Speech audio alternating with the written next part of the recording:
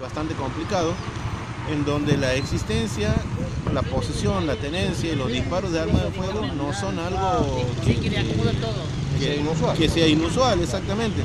Máxime teniendo en cuenta que en ese momento se encontraban eh, los policías eh, recibiendo agresiones físicas, verbales, de parte de personas del barrio.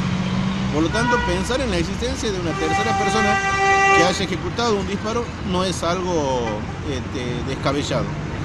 Pero bueno, este, lo que mi función, mi misión, como la del doctor Cruz, es la de demostrar eh, la inocencia en, lo que significa la muerte de esta persona de parte de Abraham.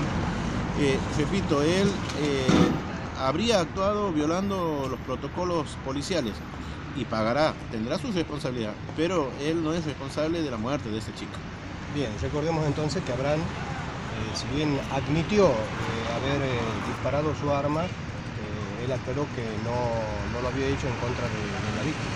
Tal cual, exactamente. Él este, manifieste que hace un disparo con, final, con intenciones de disuadir a la gente, pero en ningún momento manifiesta que le apunta a las personas.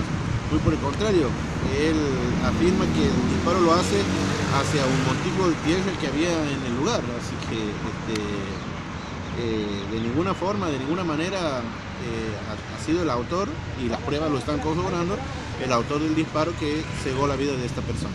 Doctor, eh, el plomo, el plomo que se le ha traído a la víctima también tiene informaciones que podrían indicar que habría rebotado en el suelo, puede haber rebotado en el suelo, cosas así por el tipo. Sí, así es. Bueno, el informe dice que el plomo deforme, precisamente son los términos que utiliza Gendarmería al elevar su informe. Este, precisamente habla de la deformación que es propia, digamos, del rebote de plomo en algún elemento sólido.